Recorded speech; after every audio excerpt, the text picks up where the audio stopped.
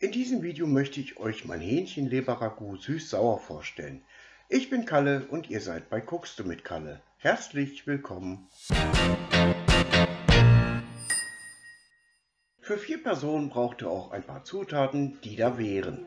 1 Kilo Hähnchenleber, 3 rote Zwiebeln, 1 Teelöffel Knoblauchmus oder eine Zehe, 200 Milliliter Sahne, 3 Esslöffel Schnittlauch, frisch, 2 Gläser Gewürzgurkensticks, je 175 Milliliter, selbst angelegt, Salz und Pfeffer.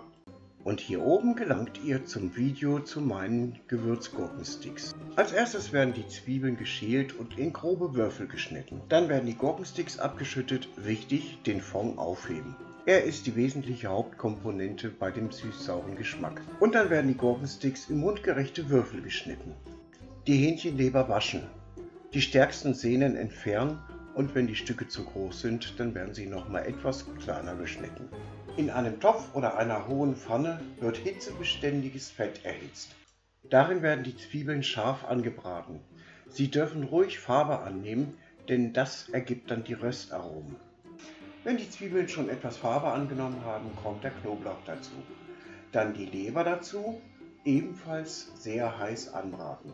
Wenn die Leber rundherum Farbe angenommen hat, dann kommt die Sahne dazu. Muss das Ragout natürlich noch die Würze bekommen, also rein mit den Gurkensticks und dem Saft.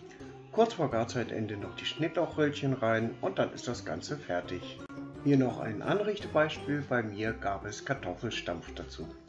Wer im Übrigen meinen Knoblauchmus noch nicht nachgemacht hat, der sollte das unbedingt nachholen. Hier oben gelangt ihr zu dem Video. Das war's von mir bis hier. Tschüss, euer Kalle.